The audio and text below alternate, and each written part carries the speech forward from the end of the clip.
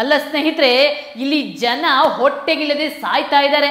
ಬೆಲೆಗಳೆಲ್ಲ rocket ವೇಗದಲ್ಲಿ ಏರ್ತಾನೆ ಇದೆ. ಒಂದು ವಸ್ತು ಖರೀದಿಸಬೇಕಾದ್ರೂ ನೂರು ಬಾರಿ ಯೋಚಿಸುವಂತ ದುರ್ಗತಿ ನಮ್ಮ ಜನರಿಗೆ ಬಂದಿದೆ.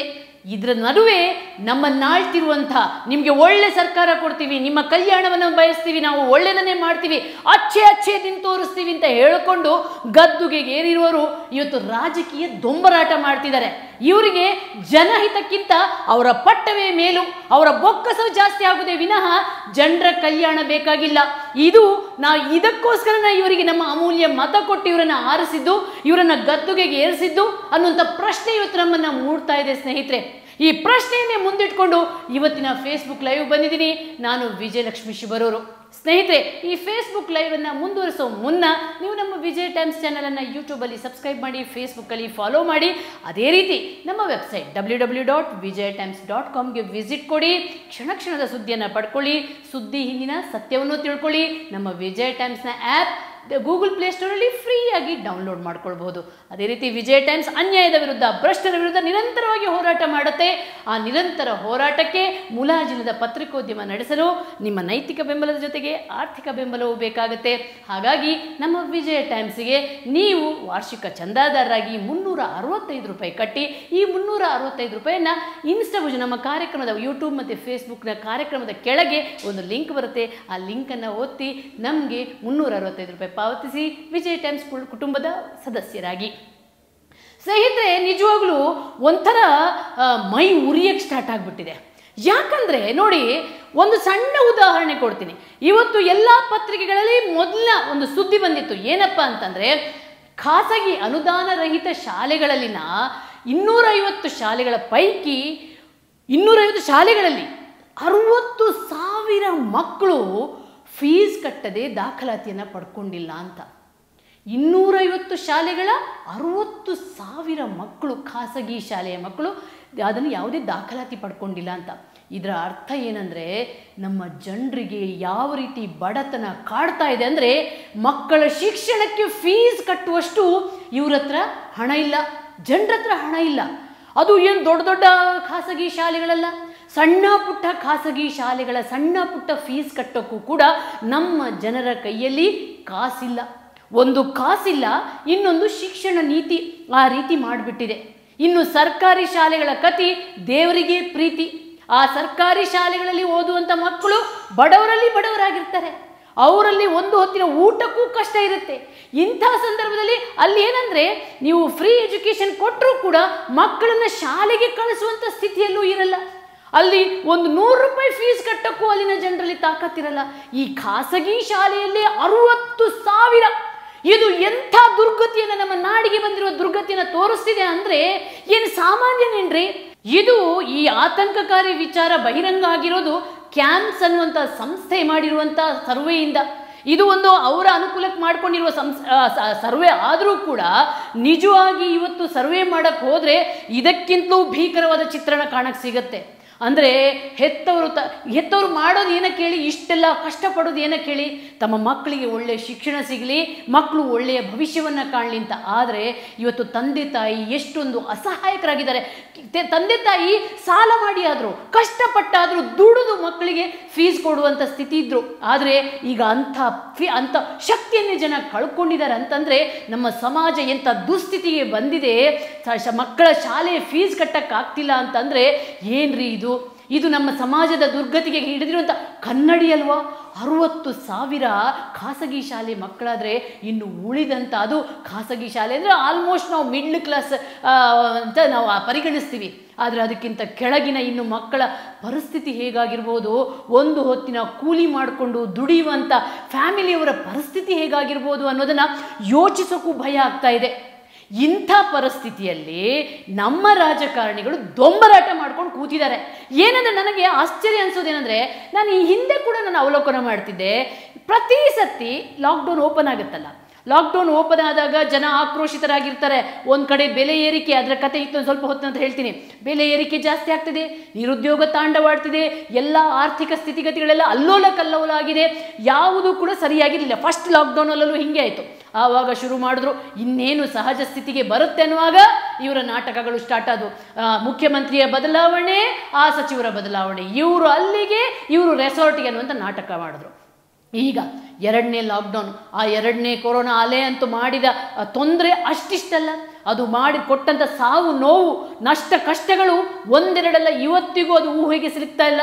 ಆಮೇಲೆ ಎರಡನೇ ಅಲೆ ಮಾಡಿದಂಥ ತೊಂದರೆ ಅದಕ್ಕೆ ಯಾವುದೇ ರೀತಿಯಲ್ಲಿ ಸರ್ಕಾರ ಸ್ಪಂದಿಸಿಲ್ಲ.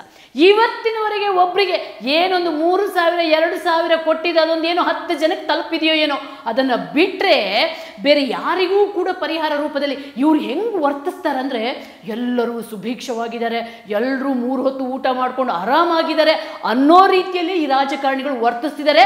ನಮಗೆ ಸೆಕೆಂಡ್ ಅಲೆ ಏನನ್ನು ಹೇಳ್ತೀವಲ್ಲ ಅದು ಏನೂ ತೊಂದರೆ ಆಗದ ರೀತಿಯಲ್ಲಿ ವರ್ತಿಸ್ತಾರೆ ಇವರ ವರ್ತನೆಗೆ ತಕ್ಕ ಹಾಗೆ ನಮ್ಮ ಮಾಧ್ಯಮಗಳು ಕೂಡ ತುತ್ತೂರಿ ಬಾರಿಸ್ತಾ ಇವೆ.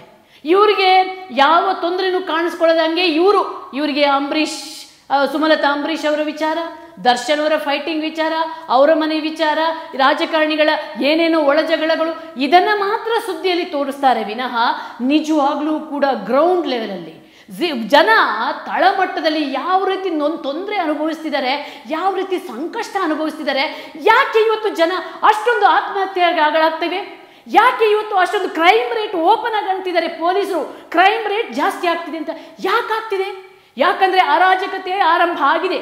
ಜನರ ಕೈಯಲ್ಲಿ ಕಾಸಿಲ್ಲ. ತಲೆ ಒಡೆದಾದ್ರೂ ಜೀವನ ಮಾಡಬೇಕನ್ನುವಂಥ ಪರಿಸ್ಥಿತಿಗೆ ಬಂದಿದೆ. ಆದರೆ ನಮ್ಮ ಸುದ್ದಿ ಮಾಧ್ಯಮಗಳಿಗೆ ಅವ್ರಿಗೆ ಯಾವುದೂ ಕಾಣಿಸ್ತಿಲ್ಲ. ಬರೀ ಸುಮಲತಾ ಅಂಬರೀಷು ದರ್ಶನು, ಅವನಂತೆ, ಇವನಂತೆ ಬೇಡಾದ ಜನರಿಗೆ ಬೇಡಾದ ಸುದ್ದಿಗಳನ್ನು ತೋರಿಸಿ ಇಲ್ಲಿ ಜನ ಯಾವ ರೀತಿ ತೊಂದರೆ ಅನುಭವಿಸ್ತಿದ್ದಾರೆ, ಸಂಕಷ್ಟ ಅನುಭವಿಸ್ತಿದ್ದಾರೆ.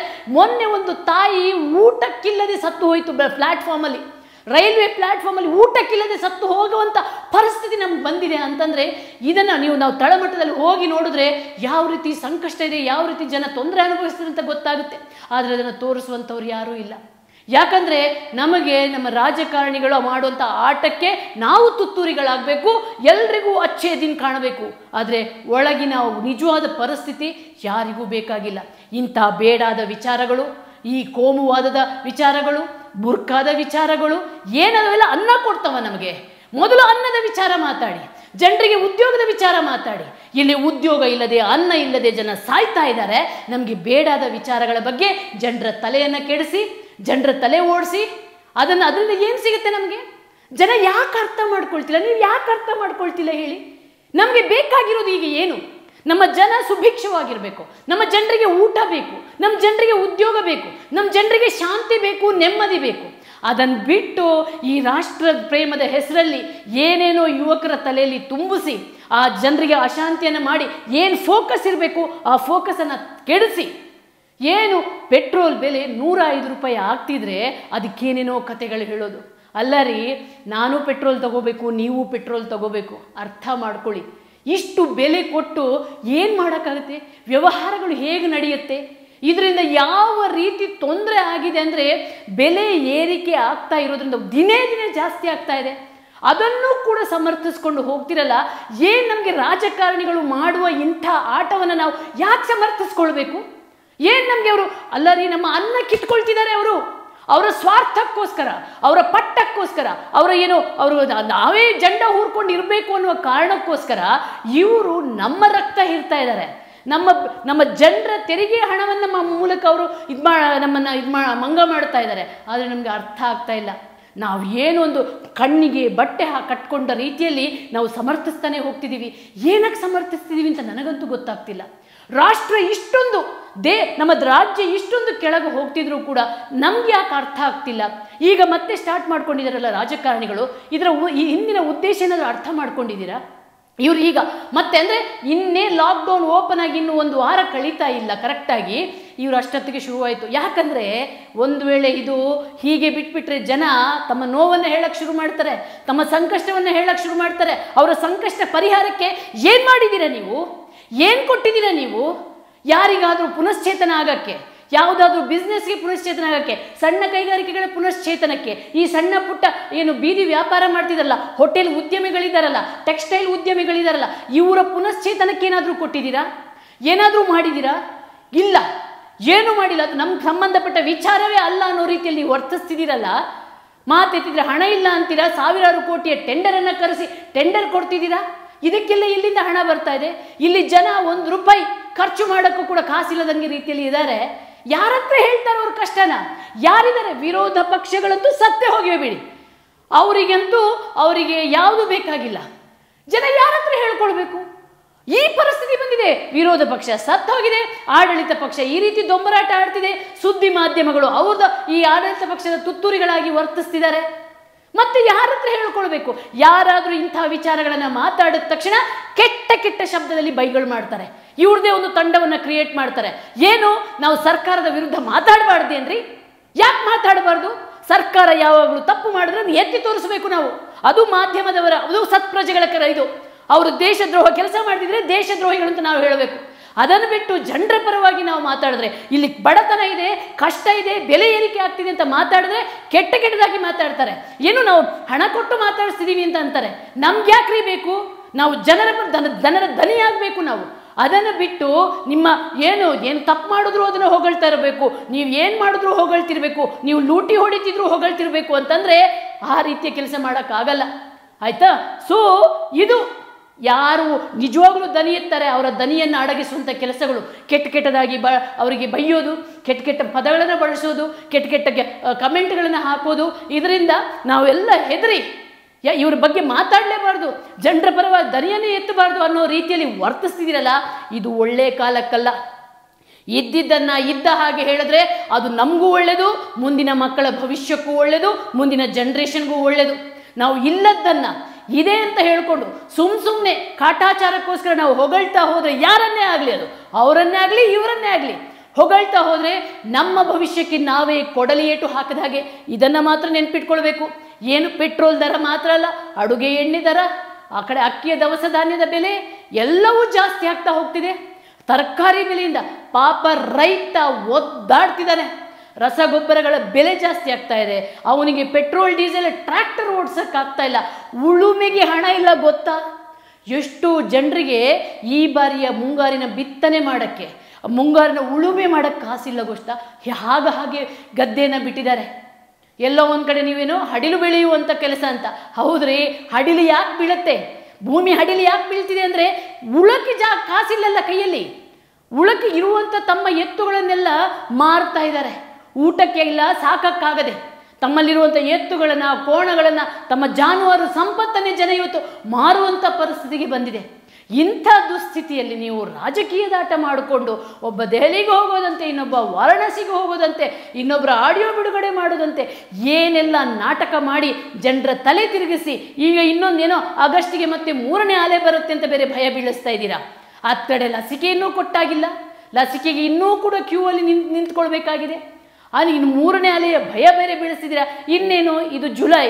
ಇನ್ನೊಂದು ನಾಲ್ಕು ದಿನ ತಳ್ಳಿದ್ರೆ ಮೂರನೇ ಅಲೆಯ ಮತ್ತೊಂದು ನಾಟಕ ಶುರುವಾಗ್ಬಿಡುತ್ತೆ. ಮತ್ತೊಮ್ಮೆ ಲಾಕ್ಡೌನ್ ಅಂತೀರಾ? ಮತ್ತೆ ಜನರನ್ನು ಒಳಗೆ ಕೂರಿಸ್ತೀರಾ? ಮತ್ತೆ ನಿಮ್ಮದೆಲ್ಲ ತಣ್ಣಗಾಗುತ್ತೆ. ಆಮೇಲೆ ಜನ ಮತ್ತೆ ಮನೆಯಿಂದ ಹೊರಗೆ ಬರಬೇಕು, ಮತ್ತೆ ಕಷ್ಟ ಅನುಭವಿಸ್ಬೇಕು. ಅಲ್ಲಿಗೆ ಅವ್ರ ಅಪ್ಪಚ್ಚಾಗಿ ಹೋಗಬೇಕು. ನಿಮ್ಮ ರಾಜಕೀಯ ಆಟನಾದರೂ ಆಡಿ, ಏನಾದರೂ ಆಡಿ ದನಿಯೇ ಬರಬಾರ್ದು. ಆ ರೀತಿ ಮಾಡ್ತೀರಾ ನೀವು? ಇಂಥ ಪರಿಸ್ಥಿತಿ ಬರೋ ಮುಂಚೆ ನಾವು ಎಚ್ಚೆತ್ಕೊಳ್ಳೇಬೇಕಾಗಿದೆ ಸ್ನೇಹಿತರೆ. ಭ್ರಷ್ಟಾಚಾರದ ಕತೆ ಕೇಳಲೇಬೇಡಿ. ಒಂದೊಂದು ಕತೆ ಕೇಳ್ತಿದ್ರೆ ನನಗೇನೆ ಪಂಚಾಯಿತಿ ಲೆವೆಲಲ್ಲಿ ಆಗ್ತಿರುವಂಥ ಭ್ರಷ್ಟಾಚಾರ, ಪಂಚಾಯಿತಿ ಲೆವೆಲಲ್ಲೇ ಇಷ್ಟು ಭ್ರಷ್ಟಾಚಾರ ಆಗ್ತಿದೆ ಅಂದರೆ ಅಂದರೆ ಪಂಚಾಯಿತಿ ಅಂದರೆ ಯಾರು? ನಮ್ಮ ಜನಗಳು. ನಮ್ಮ ಜನಗಳು ತಳಮಟ್ಟದಲ್ಲಿ ನಮ್ಮ ನಮ್ಮ ನಾಡಿನ, ನಮ್ಮ ಒಂದು ಸುತ್ತ ಊರಿನ ಆಳ್ವಿಕೆ ಮಾಡಲಿಕ್ಕಿರುವಂಥ, ಆ ಜನಗಳು ನಡೆಸುವಂಥ ಪಂಚಾಯಿತಿಯಲ್ಲೇ ಇಷ್ಟೊಂದು ಭ್ರಷ್ಟಾಚಾರ ಆಗ್ತಿದೆ ಅಂದರೆ, ಇನ್ನು ಈ ಭ್ರಷ್ಟಾಚಾರ ಬೆಳೆದಿರುವಂಥ ರೀತಿ ಏನು ಭ್ರಷ್ಟಾಚಾರವೇ ಖಾಲಿ ಆಗುತ್ತೆ ಅಂತಂದ್ರು, ಇಲ್ಲ ರೀ, ತಳಮಟ್ಟದ ಬೇರಲ್ಲಿ ಆಗ್ತಿರುವಂಥ ನರೇಗಾದಿಂದ ಹಿಡಿದು ಪ್ರತಿಯೊಂದರಲ್ಲೂ ಆಗ್ತಿರುವಂಥ ಭ್ರಷ್ಟಾಚಾರ ನೋಡಿದಾಗಲೇ ಭಯ ಮೈಯೆಲ್ಲ ಕಂಪಿಸಕ್ಕೆ ಶುರುವಾಗಿದೆ. ಕೇರಿ ಇಲ್ಲ. ಭ್ರಷ್ಟರಿಗೆ ಯಾವ ಕೇರಿಲ್ಲದೆ ಮಾಡ್ತಾ ಇದ್ದಾರೆ ಭ್ರಷ್ಟಾಚಾರವನ್ನು. ಆದರೆ ಯಾರು ಕ್ರಮ ಕೈಗೊಳ್ಳೋರಿಲ್ಲ. ಭ್ರಷ್ಟಾಚಾರದ ವಿರುದ್ಧ ಮಾತಾಡಿದವ್ರದ್ದು ಕೈಕಾಲು ಕಟ್ ಮಾಡುವಂಥ ಪರಿಸ್ಥಿತಿ ಬಂದ್ಬಿಟ್ಟಿದೆ. ಇಷ್ಟು ಸಮಾಜದಲ್ಲಿ ಆತಂಕ, ಭಯ ಮೂಡಿಸ್ತಾ ಇದೆ. ಆದರೆ ಇದೇ ರೀತಿ ನಾವು ಭಯ ಬೀಳ್ತಾ ಇದ್ರೆ ನಮ್ಮ ದನಿಯನ್ನು ನಾವು ಎತ್ತರಿಸಿ ನಮ್ಮ ಹಕ್ಕಿಗಾಗಿ, ನಮ್ಮ ನಮ್ಮ ನಮ್ಮ, ನಾವು ಹಾಕಿರುವಂಥ ಮತಕ್ಕೆ ಬೆಲೆ ಕೊಡುವ ಹಾಗೆ ಮಾಡಲಿಲ್ಲ ಅಂದರೆ ಖಂಡಿತವಾಗ್ಲೂ ನಾವು ಮಾತ್ರ ಅಲ್ಲ, ನಮ್ಮ ಮುಂದಿನ ಪೀಳಿಗೆ ಕೂಡ ಸಫರ್ ಆಗಬೇಕಾಗತ್ತೆ. ಈ ಎಚ್ಚರಿಕೆಯನ್ನು ನಾನು ಇವತ್ತು ಕೊಡ್ತಾ ಇವತ್ತಿನ ಫೇಸ್ಬುಕ್ ಲೈವನ್ನು ನಾನು ಕೊನೆ ಮಾಡ್ತಾ ಇದ್ದೀನಿ. ಆದರೆ ಸ್ನೇಹಿತರೆ, ಏನಾದರೂ ಭ್ರಷ್ಟಾಚಾರ ಅಂದರೆ ವಿಜಯ್ ಟೈಮ್ಸ್ ಅದಕ್ಕೆ ದನಿ ಖಂಡಿತ ಆಗುತ್ತೆ. ಅದು ಎಷ್ಟೇ ಕಷ್ಟಗಳು ಬರಲಿ, ನಿಮ್ಮ ಪ್ರೀತಿ ವಿಶ್ವಾಸ ನಮಗೆ ಶಕ್ತಿ ಕೊಡ್ತಾ ಇದೆ, ಬಲ ಕೊಡ್ತಾ ಇದೆ. ಹಾಗಾಗಿ ನಿಮ್ಮ ಸುತ್ತಮುತ್ತಲೇನಾದರೂ ಅಕ್ರಮ, ಅನಾಚಾರ, ಭ್ರಷ್ಟಾಚಾರ ನಡೆದಿದೆ ನಿಮ್ಗೆ ಗೊತ್ತೇ ಇದೆ, ನಮ್ಮ number eight three one seven three nine eight four eight six. ಇದಕ್ಕೆ ನೀವು ವಾಟ್ಸಪ್ ಮಾಡಿ ಅಥವಾ ಕರೆ ಮಾಡಿ, ದಾಖಲೆಗಳನ್ನು ಕೊಡಿ, ವಿಡಿಯೋ ಮಾಡಿ, ಫೋಟೋ ಮಾಡಿ, ನೀವೇ ಮಾತಾಡಿ ನಮಗೆ ಕಳಿಸಿ. ಖಂಡಿತವಾಗಲೂ ಕೂಡ ನಿಮ್ಮ ದನಿಗೆ ನಾವು ದನಿ ಆಗ್ತೀವಿ ಪ್ರಾಮಾಣಿಕವಾಗಿ ನಿಮ್ಮ ವರದಿಯನ್ನು ಪ್ರಕಟಿಸ್ತೀವಿ. ಇದು ಈ ಹೊತ್ತಿನ Facebook live thank you thank you very much ಬದಲಾವಣೆಯ ಹಾದಿ ವಿಜಯ್ ಟೈಮ್ಸ್